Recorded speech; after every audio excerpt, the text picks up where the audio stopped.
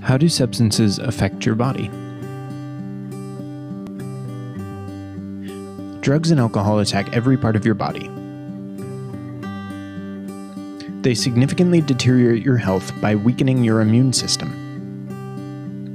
They can cause a variety of cardiovascular conditions ranging from abnormal heart rate to heart attacks. Lead to ulcers, hearing loss, liver failure, seizures, strokes, infertility, and brain damage.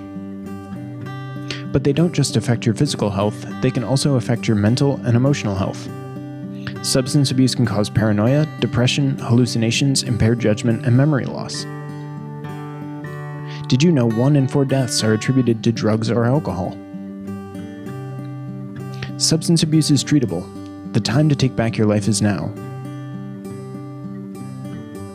If you or anyone you know needs addiction treatment, call Mountainside at 860 824 1397.